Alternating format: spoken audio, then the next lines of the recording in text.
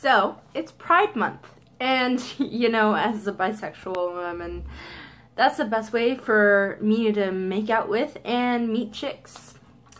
Although, I don't randomly make out with chicks anymore. Hmm, interesting. But, you know, there are also so many people pretending to be gay and bisexual these days just because they think it's cool. But to those of you who are pretending to be gay and bisexual and such, fuck you. Okay, if you're a girl and you're just pretending, just telling the guy that you like that you're bisexual because you know he'll think you'll that you're cool and that you're hot and whatever, yeah, fuck you. That's the type of girl that would be like, Oh my god. Like, yeah, I totally love pussy. I eat it like every day. That's why I'm fat. it won't make you fat if it's a vegan pussy. Mm-hmm.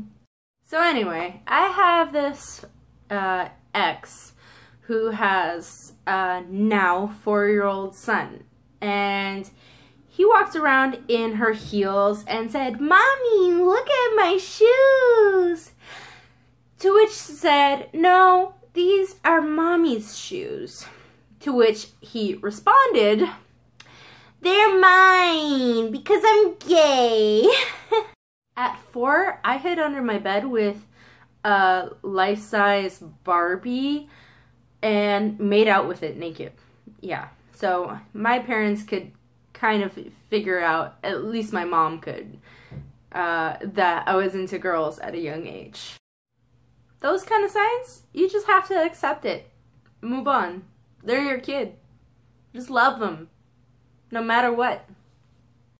But if you're pretending to be something you're not, fuck you. Because you're annoying.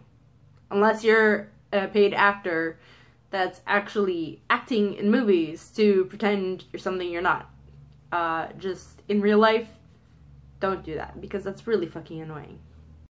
And if you like that, please come back for more. Like, subscribe, and be sure to tell your friends. I swear it's not a chore. Go vegan. Mwah, love you.